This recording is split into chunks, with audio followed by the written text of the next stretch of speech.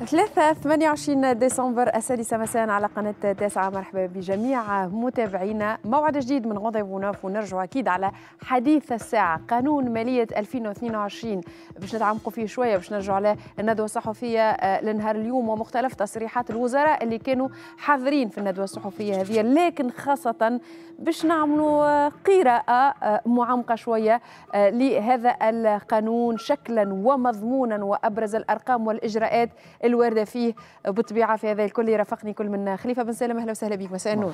مرحبا. بك لطفي العماري. أهلا بك مرحبا بك ناجي الزعيري مساء الخير. مساء الورد. آه ليلى ضيوفي باش يكونوا على التوالي. نبيل بالعم مدير عام مؤسسة Emrhod Consulting ونرجع على آخر سبر آراء وبارومتر سياسي وهذا آخر تقريبا سبر آراء لسنة 2021 إن شاء الله نتلاقاو آه، في مواعيد آه، جديدة في السنة القادمة. لكن أيضا يكون حاضر معنا سلاح رقيقة ناطق رسمي باسم الغرفة النقابية لأصحاب المخابز. أزمة خبز أم لا؟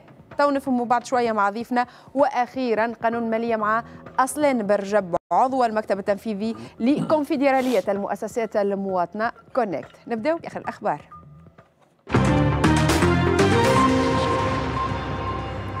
أكدت وزيرة المالية سهام بوغديري نمسية خلال الندوة الصحفية اللي انعقدت اليوم لتقديم تفاصيل قانون المالية الجديد تأكد أنه ميزانية الدولة المتوقعة لسنة 2022 حددت ب 57291 مليون دينار فيما حدد العجز ب 9308 مليون دينار. نفقات ميزانية الدولة لكامل سنة 2022 تقدر 47 1166 مليون دينار أي بزيادة تقدر ب 6.6% الزياده هذه متأتية أساسا في نفقات التأجير اللي هي كما تشوفوا ب 1228 مليون دينار زيادة هذه. أي بما يقارب معناها بنسبة 6% آه، زيادة في نفقات الدمع دعم 1235 مليون دينار أي بزيادة نتاع 20% وزيادة في نفقات التمويل فائدة الدين العمومي اللي هي ب 544 مليون دينار. نفقات الدعم في مجملها بالنسبة ل 2022 هي 7262 مليون دينار. أي بزيادة تقدر ب 1235 مليون دينار. نفقات الاستثمار وعمليات مالية هي في حدود 8364 مليون دينار ونفقات التمويل 4326 مليون دينار. 57261 مليون دينار. هذا هو حجم ميزانية 2022 أي بزيادة ب 3.2% بالمقارنة مع قانون المالية التعديلي. عجز الميزانية دون اعتبار الهبات باش يكون في حدود 9308 مليون دينار. أي آه، العجز باش يكون في حدود 6.7% من الناتج المحلي الإجمالي. نكملوا مع تصريحات وزيرة المالية اللي تقول أن الدولة باش تكون في حاجة إلى تجميع قروض خارجية ولكن أيضا داخلية. الحاجيات هذه قدرت ب 18673 مليون دينار إضافة إلى حاجيات خزينة ب 1310 مليون دينار. البزوان هذايا باش يترتب عليه حاجيات اقتراض في حدود 19983 مليون دينار باش تتوزع ما بين 12652 مليون دينار اقتراض خارجي و 7331 مليون دينار اقتراض داخلي. حجم الدين العمومي آه، معناها باش يكون في حدود 114142 مليون دينار أي ما يمثل 82.6% من الناتج المحلي الإجمالي. به نتوقفوا شوية برشا أرقام قالتها وزيرة المالية في تقديمها لقانون المالية 2022 لطفي برشا أرقام. ممكن المشاهد مش باش يدقق برشا في الأرقام لكن مجملا في قراءة أولى لما قدم اليوم. شنو الانطباع اللي خرجت به على قانون المالية؟ والله شوف هذه ربما التركة اللي يحكي عليها رئيس الدولة وهي السيدة وزيرة المالية تترجمها في أرقام. في الحقيقة ما كانتش أرقام مفاجئة لأنه تقريبا كل الرأي العام في تونس وحتى خارج تونس على اطلاع ب آه، على هذه الأرقام وعلى الصعوبات الكبيرة. يبقى ربما كنا ننتظر أجوبة على كيفية التعاطي مع هذه الأرقام. وليس فقط مجرد استعراض للأرقام. إيش معناها كيفية التعاطي مع خلينا نوضح يعني الصعوبات والمبالغ الرهيبة تحكي عليها السيد الوزير وقت تحكي على 19 ألف مليار وتقول أنه مدعوين إحنا باش نوفروا 12 ألف معناها مليار دينار من الأسواق الخارجية وبقيتها من الأسواق الداخلية. اليوم كيفاش باش نخرجوا إحنا للأسواق الخارجية؟ هذا تقريبا أهم شيء. بمعنى أن رجعنا اليوم الامه كصنافه لأن الصعوبات المالية اللي قاعدين نشوفها في جزء كبير منها مردها الترقيم السيادي المتردي لتونس. والترقيم السيادي المتردي هو بطبيعة الحال اللي قال خلى كبار المانحين الدوليين يحترزون جدا من التعامل المالي مع تونس. بقيت ورقة وحيدة هي ورقة صندوق النقد الدولي, الدولي. اللي جايين بعد شوية خاطر حكيت هي شوية على صندوق أو صندوق النقد الدولي والإصلاحات الكبرى اللي إصلاحات. يتم تقديمها لي. أي يعني هنا اللي سمعناه اليوم هي مجرد إجراءات des mesures معناها c'est pas des mesurettes هي يعني تقديم تقريبا آه، تقني أو محاسباتي للميزانية. هذه ما شفناش روح وجوهر نتاع ميزانية تعدت في ظرف استثنائي. أنا نجم نسميها هذه ميزانية المراسيم وبالتالي كنا نتوقعوا اتخاذ مجموعة من الإجراءات الكبرى اللي واضح. كنا ديما كي نتحدثوا نوصفوها بالموجعه وبالمؤلمه ورئيس الدولة ربما وصفها بالإكراهات. بالضبط. لكن هذا الكل تقريبا اليوم زلنا ما شفناهاش في المشروع سواء قانون المالية أو مشروع الميزانية. به آه ناجي لطفي يقول ميزانية المراسيم. رئيس الدولة حتى كان استحضروا آه كلامه يقول قانون مالية الإكراهات ويمكن آه الإكراهات اللي آه ترجعنا للظرف الاقتصادي الصعيب والازمه الاقتصادية والاجتماعية اللي اللي عشناها.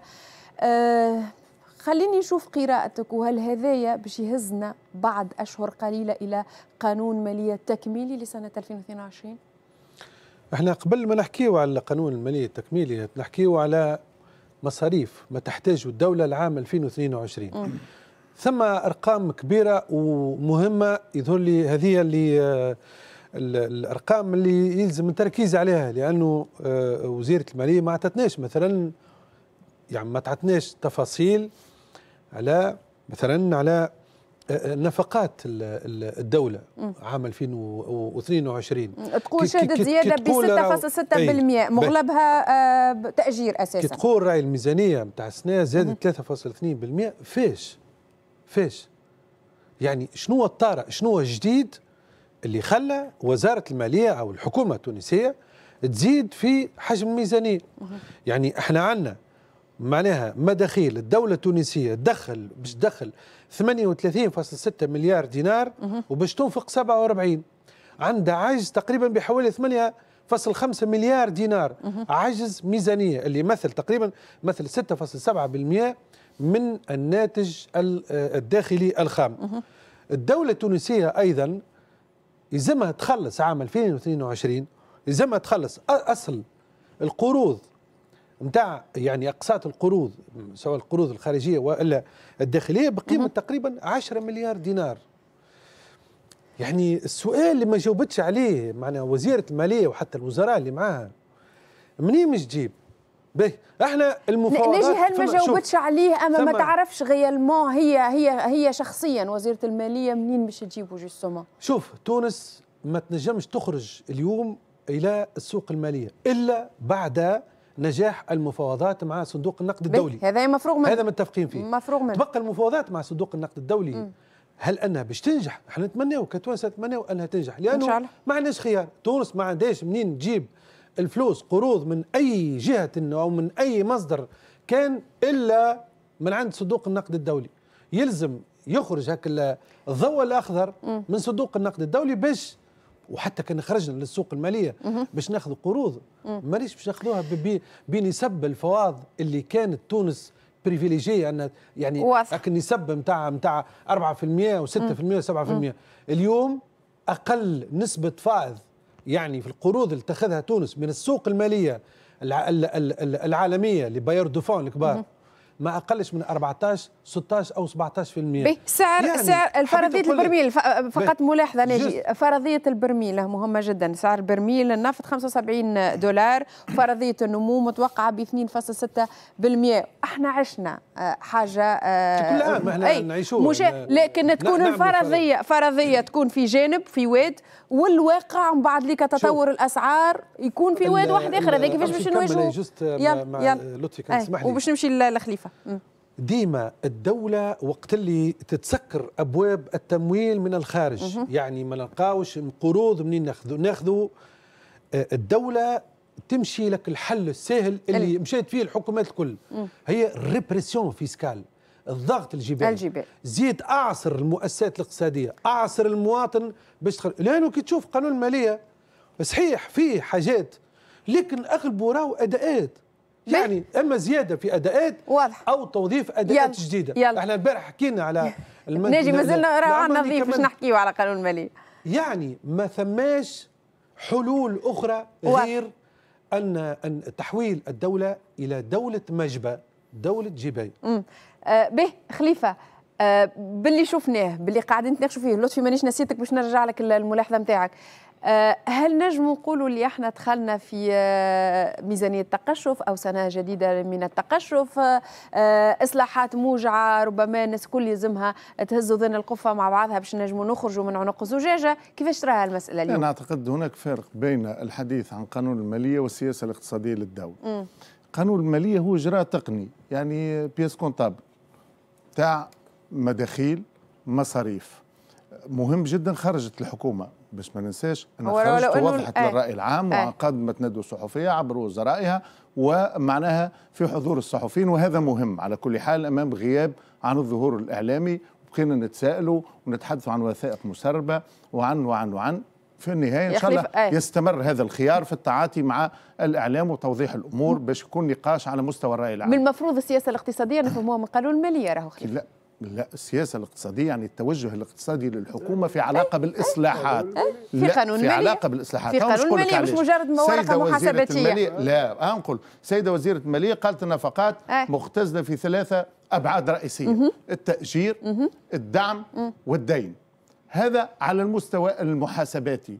ولكن إحنا نحب نعرفه كيفاش الحلول البديلة عن الحد من التأجير لأنه التأجير بالنسبة للدولة ملاذ لكل المواطنين. اليوم نوقف التأجير. لا هذاك كيفاش نتخلص من ثقل التأجير؟ إيه، ولكن كي تخرج الناس عن التقاعد في السياسة كي باش نوقف التأجير وما عادش نعمل الانتدابات؟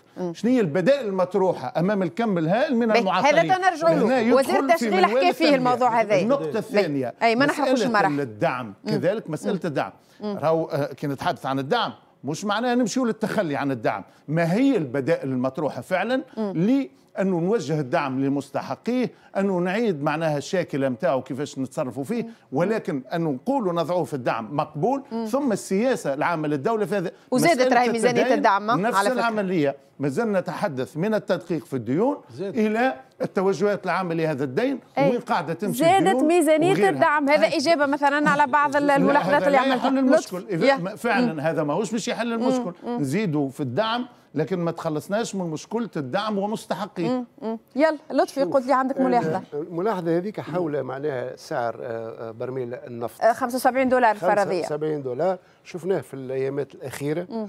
آه، انخفض السعر. علاش؟ بفعل تفاقم جائحة الكوفيد مجددا في أوروبا وتقريبا في مختلف أنحاء العالم. الشيء اللي خلى شركات الطيران تلغي آلاف الرحلات بالضبط. وهي أكبر مستهلك للمحروقات الكيروزين وبالتالي انخفض السعر. لا ندري كيف سيتطور المتحور الجديد كيف ستكون تأثيراته على آه، شبكة النقل العالمي وبالتالي على الاقتصاد العالمي و آليا على سعر بريل النفط. لكن هم ماشيين في تحريره وقت اللي باش يربطوه بسعر السوق التعديل الآلي. واضح الآن ماشيين في سياق هو, بال... هو مرتبط بالحركة. أي معناها هذا الاتجاه العام. بالحركة الاقتصاديه إذا ثم معناه اقتصاد وفما نقل وفما سياحه يرتفع السعر إذا ما ثماش اليا ينخفض هو الارتفاع مش يأثر على مجريات الحياة الأخرى الكل. سعر الكهرباء وسعر الخدمات إحنا إحنا اللي إحنا اللي ناملوه انه يمشي في الانخفاض. على الأقل مراعاة آه آه شوف أنا يظهر لي ميزانية وقانون المالية تعاملت بمنطق يعني آه كثير من الخوف. هناك حكومة في وضعية استثنائية.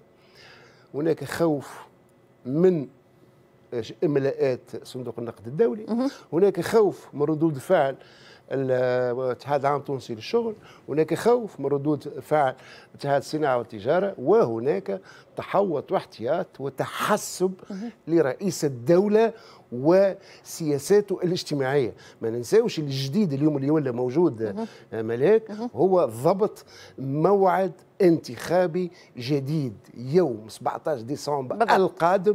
وبالتالي هذه الحكومة أصبحت ربما تأخذ بعين الاعتبار هذا المعطى السياسي واللي بطبيعة الحال واللي هي مطالب حتى خارجية. واللي باش يكون فيه رئيس الدولة ربما كلاعب سياسي من خلال الحزب تاعه وبالتالي الإجراءات الاجتماعية وخاصة كل ما له علاقة بصندوق الدعم ربما أصبح من المحرم المساس به. دامك انت تحكي على صندوق النقد الدولي. خلينا آه، نشوف وزيرة المالية شنو تقول في علاقة بالمفاوضات مع الاف اللي أكدت إنه آه، الحكومة تعمل على إعداد وثيقة إصلاحات لعرضها على صندوق النقد الدولي. أكثر من 80 شخص خدموا على برنامج إصلاح باش نقدموه إحنا. معناها برؤية برؤية تونسية معناها إصلاح اللي إحنا اليوم مؤمنين به حسب ظروفنا وحسب أهدافنا هي إصلاحات إحنا كدولة حشتنا بها لكن هي تنصهر تنصهر في الطلبات اللي اللي معناها آه، طالبينهم آه، صندوق النقد الدولي وهي مش طلبات جديدة تعرفوهم إن شاء الله ودوبي لاني أول السنة باش نبداو في نتفاوضوا بخصوص الوثيقة هذه. لكن بدينا آه، في في في بعض معناها اللقاءات اللقاءات معاهم عن بعد والحقيقة المؤشرات كانت حسب معناها وصلتنا وصلتنا لتوا إيجابية بالنسبة للاستعدادات اللي إحنا قاعدين نقوموا بها. به آه، ملاحظات عامة. ساعة تقول أنه الإصلاحات هذه تنصهر مع آه، طلبات آه، سابقة لصندوق النقد الدولي مع حاجية تونس. لكن أيضا ناجي شنو تقول؟ تقول أنه تعمل الحكومة على إعداد وثيقة الإصلاحات بمشاركة 80 خبير اللي باش تعرضها على الصندوق في بداية السنة المقبلة. يقول القايل 80 خبير لكن أين هو الاتحاد العام التونسي للشغل؟ أين هي منظمة الأعراف؟ أين هم شركاء الاجتماعيين في الانكباب على في إعداد ال ال الوثيقة هذه اللي أصلا صندوق النقد الدولي يطلب مشاركة الجميع حول الوثيقة هذه.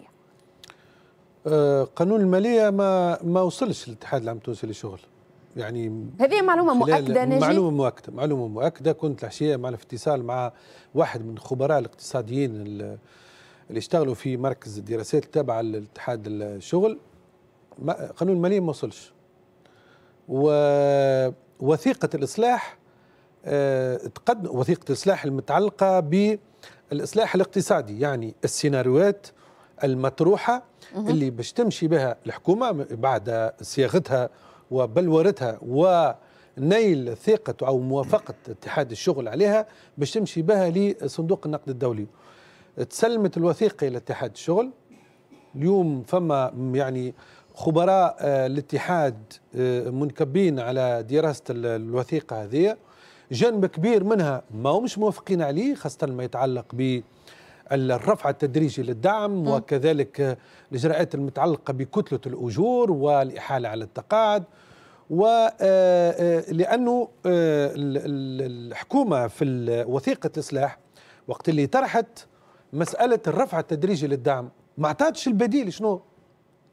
ما ثماش بديل عملي سوى كلام كلام يعني كلام تقال قبل وتقال مجددا أنه راو آه، فما يعني منح أو جرايات مالية قارة باش تمشي للعائلات التي تستحق الدعم. هذا بقى مجرد كلام يعني noir sur blanc.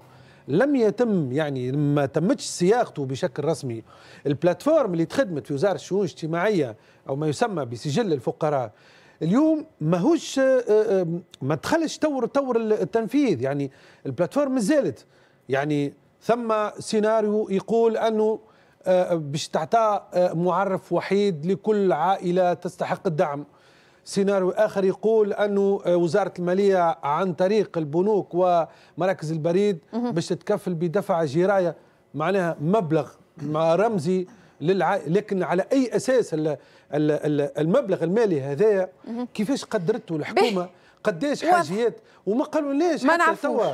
توا. ميزانية الدعم. توا شوف شوف يعني ثم شيء ثم شوية زادت ميزانية الدعم زادت. من ناحية الناس كل تحكي على آه، الحد من نفقات الدعم اللي م. كانت مقدرة تقريبا سنويا في حدود 5 مليار دينار. وتوجيه الدعم إلى مستحقيه. هذه سنوات وإحنا نسمع فيه المطلب هذايا والدعوة هذه وكل حكومة تجي تقول لك أنا سأنكب على ذلك. تطلع ميزانية الدعم إلى أكثر من 7 مليار دينار. علاش واضح. يعني معناها في الوقت اللي الحكومة هازه يعني تشتغل على وثيقة باش تنزل لفمي للتخفيض في حجم الدعم. أنا هنا عندي سؤال لطفي. الوضع استثنائي وتقريبا إحنا النقاشات في كل آه، آخر سنة على الدعم وعلى غير الدعم وعلى التوجهات الكبرى للدوله التونسية في المسائل المالية والنقدية آه، هذه آه، الإصلاحات زاد اللي لازمها تتعمل. يقول قايل إحنا وصلنا الظرف وصلنا ل l'impasse. مش من المفروض إنه هذايا الكل يصير وإحنا في الوضع الاستثنائي الصعيب هذايا باش آه، تتحل une bonne fois pour toutes ونسكروا الملف هذايا والاقتصاد يصبح يتعافى ولا نقعدوا ديما في سياسة الحرائق إطفاء الحرائق المؤقتة ومن بعد ليك كل عام تطلع لنا حريقة جديدة. إي لكن سياسة اطفاء الحرائق ما عادش آه، تقضي مع بس صار انفجار صندوق النقد الدولي. صار انفجار.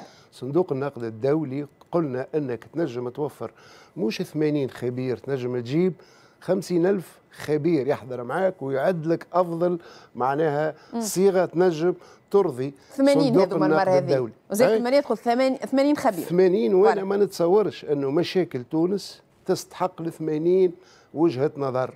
يكفي خمسة ستة خبراء من الحكومة ومعهم أربعة خمسة خبراء من الاتحاد العام التونسي للشغل اللي معناها توصيف مشاكل تونس واقتراح الحلول لأنها مشاكل متراكمة منذ سنين وتداول عليها عشرات الخبراء. ربما اليوم تسأل مواطن تونسي بسيط ينجم حتى يوصف لك.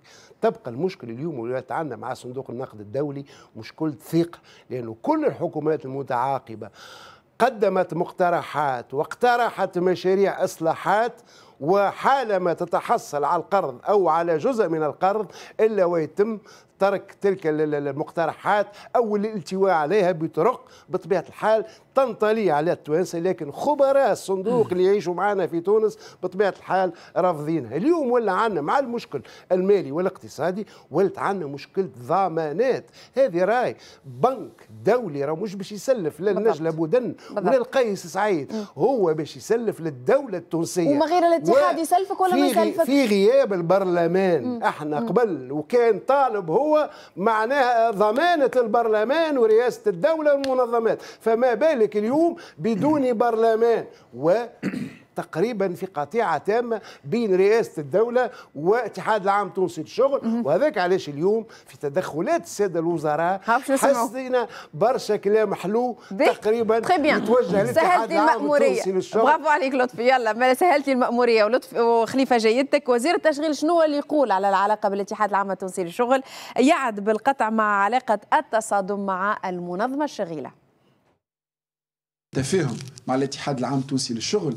المفاوضات مع الإف إم تكون أسهل بيسر.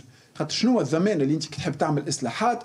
إنه الإصلاحات هذيك باش يتم تبناها من قبل المنظمة الشغيله والمنظمات الاجتماعية وتعاونك عليها وتنجح فيها. باش نقطعوا مع هكا العلاقة اللي فيها تصادم مع الاتحاد العام التونسي للشغل وباش نعتمدوا مسار نتاع عمل تشاركي. نقعدوا مع بعضنا في لجان.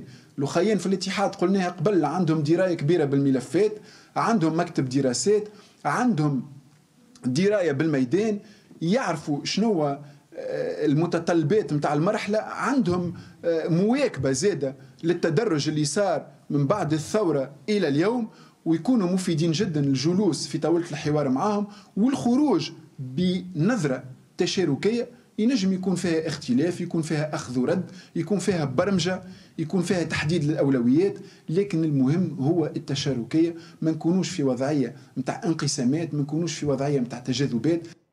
وزير التشغيل يستبعد أيضا وجود انتدابات جديدة في الوظيفة العمومية. الحجم اليوم نتاع الموظفين في الوظيفة العمومية تجاوز الاحتياجات. وفما عدد كبير. شنو باش يصير هنا لخلق الحلول؟ من جهة تكلمت سيدة وزيرة المالية باش نحاولوا نشجعوا الموظفين العموميين اللي عندهم الرغبة واللي توفر فيهم شروط معقولة باش يمشيوا للتقاعد من غير ما تحصل لهم خسائر. فماش كان اليوم الوظيفة العمومية فما حلول أخرى كلها مع بعضها نغزروا لها. ماناش رافضين أي آه، فرضية من الفرضيات لكن اليوم راهو نحب نقولوا التوجه راهو حاليا لازم يكون نحو المبادرة الخاصة. به مع العلم أنه آه، منذ قليل في بلاغ لرئاسة الجمهورية، رئيس الجمهورية استقبل اليوم سمير مجول رئيس الاتحاد التونسي للصناعة والتجارة والصناعات التقليدية، اللقاء هذايا آه، خصص لمتابعة الوضع الاقتصادي والاجتماعي بوجه عام. آه، أيضا رئيس الدولة دعا رئيس الاتحاد التونسي للصناعة والتجارة والصناعات التقليدية إلى طمأنة رجال الأعمال بانه الإجراءات اللي تم اتخاذها تهدف إلى النأي بهم عن كل مظاهر الابتزاز. اتطرق أشار أيضا رئيس الدولة إلى أنه باش يعمل على تنظيم حوار مختلف عن الحوارات الشكلية السابقة وشدد على حرصه على تحقيق الحرية والكرامة لكل التونسيين والتونسيات. من جانبه آه، رئيس لوتيكا يقول أنه آه، يعبر عن تطلع رجال الأعمال والمستثمرين إلى العمل في ظروف طبيعية تمكنهم من تحقيق الثروة والمساهمة في تطوير الاقتصاد الوطني. خليفة هذايا لقاء مع آه، رئيس منظمة الأعراف. في انتظار اللقاء أيضا مع آه، رئيس المنظمة الشغيلة أو أمين عام المنظمة الشغيلة. وهو منتظر. علاش قلت لك أنا من قبيلة راهو ثم فرق بين قانون المالية بين وثيقة الإصلاحات المفترضة مع صندوق نقد الدولي. تبدو الميزانية فيها إشارات مطمئنة للصندوق في علاقة بمسار الإصلاحات اللي يفترضها أو اللي باش يناقش فيها الدولة التونسية. من قبيل قبيلة كنا نحكيو تخفيض من كتلة الأجور عبر التقاعد الاختياري اللي حلوا فيه الطريق إيقاف الانتدابات آه، تحرير تدريجي للأسعار المحروقات. يعني هناك اتجاه عام في إشارات إيجابية بالنسبة للصندوق في انتظار وثيقة الإصلاحات هي اللي باش تحدد السياسات الكبرى اللي باش تمشي بها البلاد في قادم الأيام واللي هي تفترض بالضرورة وجود الاتحاد العام تونس الشغل ومنظمة الأعراف كشركاء اجتماعيين. إن شاء الله ما تخرج لناش فيها تسريبات إن شاء الله الوثيقة الرسمية تخرج للإصلاحات. عن حضور الاتحاد في قانون المالية ولا غيره. إحنا كيفاش جرت العادة في السابق؟ قانون المالية كان وفق الاتحاد العام تونس الشغل وقت كان في السنوات الماضية كان دوما معناها مقترحات الاتحاد مختلفة متصادمة مع قانون المالية. كانت توافق عليه الأحزاب السياسية فقط. يعني حتى افتراض أنه وجود مجلس نواب الشعب وهو يصادق على هذه الميزانية باش يعطيها معناها شيء من المصداقية مع الصناديق. ولكن هذه المصداقية لم تؤدي أبدا طيلة تلك السنوات للإصلاحات المفترضة في علاقة بالصندوق. سؤال. يبقى أنه واضح من خلال ما قاله السيد وزير التشغيل يعني ناطق رسم باسم الحكومة المدخل لإيجاد حوار وتشاركية مع الاتحاد العام للشغل. هي تلك البداية اللي هي فيها حوار وخطاب إيجابي في اتجاه في الاتحاد العام للشغل آه، كيفاش والاتحاد لم يقطع طريق كيفاش في, في التواصل مع الحكومة عدم تصريحات عدم الإدلاء بتصريحات من قبل قيادي الاتحاد ولا حتى أمين عام الاتحاد في علاقة بما آه، نشر اليوم وما قيل حول قانون المالية في الندوة مختلف عن الأحزاب. راه مش شخص يحكم في منظمة. الاتحاد العام لكن معني بدرجة أولى بقانون الماليه أيضا وبوثيقه الإصلاحات. طبعا. ظهرت اليوم الميزانية ولات رسميه مؤكد الهياكل داخل منظمة الاتحاد العام تونسول ستجتمع وستصدر موقف من هذه الميزانية في علاقة بالمقترحات بالانتقادات تجتمع على أي وثيقة؟ على وثيقة الميزانية وعلى ما مشيتش. الآن قلت لك اليوم إيه بعد الندوة الصحفية يا خليفة اجتماع بعضي مش قبلها معقول انه الاجتماع يكون بعضي اليوم هذوما ما همش وثائق رسمية بما فيهم اللي استعرضوهم اليوم الساده الوزراء. مازال ما مازال في الرائد الرسمي. هذه شكليات الرسمي. في الرائد ما باش نناقشوا. هذا ينجم تصير فيه تنقيحات تنجم تصير فيه تعديلات خلينا نستنى التنقيحات علاش اليوم اللي تحل هو النقاش اليوم ندوة صحفية راهو. مش نقاش سيد لطفي. تفضل. ماهيش ندوة صحفية؟